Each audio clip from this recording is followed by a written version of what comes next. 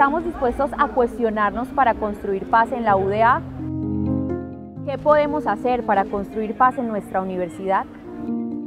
Desde el proyecto Paz en el Alma de la Dirección de Bienestar Universitario, hemos abierto espacios de diálogo y reflexión mediados por el arte y la palabra.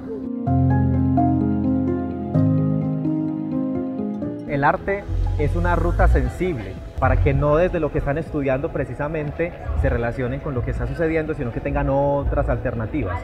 Alternativas sensibles, simbólicas, que a veces reemplazan las palabras que es tan difícil verbalizar. Nuestra sociedad no es muy tenido en cuenta, el arte es visto como un hobby o algo pues ornamental. El arte tiene esa capacidad de reflexionar, de, de, de transmitir y incluso pues de hacer catarsis. La invitación es a que independientemente de la carrera o la personalidad se permitan sentir, eso sí lo tenemos en común todos.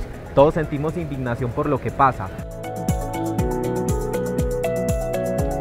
Este tipo de eventos son muy importantes porque dan la apertura a un diálogo universitario entre diferentes estamentos de la universidad, pero incluso también con la participación de personas externas a la universidad un diálogo que se crea en torno a un pasado de violencia que cargamos como universidad pública, pero sobre todo nos da la posibilidad de pensarnos maneras de transitar de esos escenarios de violencia hacia escenarios donde prime el diálogo, donde prime la discusión pública, donde primen las propuestas eh, que nos permitan constituir una universidad de cara a un posible escenario de paz porque reconocemos el potencial que hay en estas para comunicar y transmitir ideas y sentires, para encontrarnos con el otro y la otra y construir el futuro que soñamos.